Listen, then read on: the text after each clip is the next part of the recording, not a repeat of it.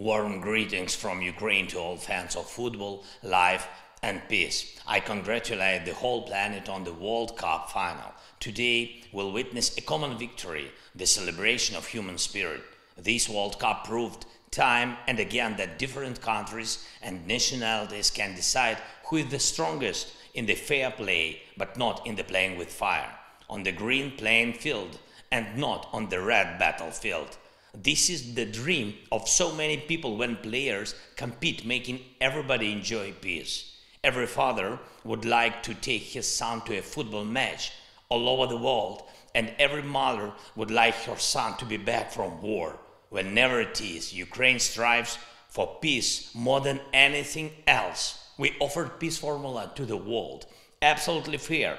We offered it because there are no champions in war. There can be no draw. So I announced the initiative to hold a Global Peace Formula Summit this winter, the summit to unite all nations of the world around the cause of global peace. Stadiums, stands get empty after the match, and after the war, cities remain empty. That's why wars must fail, and peace is to become the champion, as it is here in Qatar now, the World Cup, but not the World War. It is possible.